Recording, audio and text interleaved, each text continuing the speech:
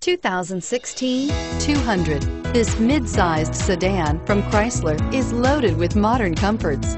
Thicker seats, LED lighting, and noise dampeners are just a few. This 200 model for Chrysler takes an aggressive step into a competitive market.